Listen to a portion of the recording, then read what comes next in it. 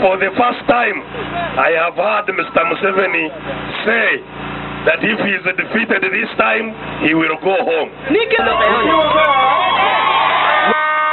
It is because he is looking at the reality and knows he no longer has any place to maneuver. At Namugongo Martyrs Shrine, where the Pope, the Pope issued a sermon, Museveni for the first time in more than 15 years came and greeted me.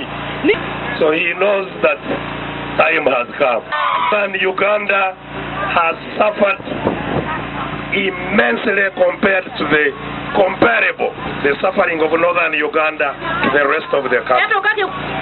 And that is why, even when Mr. Museveni retires, he should have a lot of questions to answer on northern Uganda.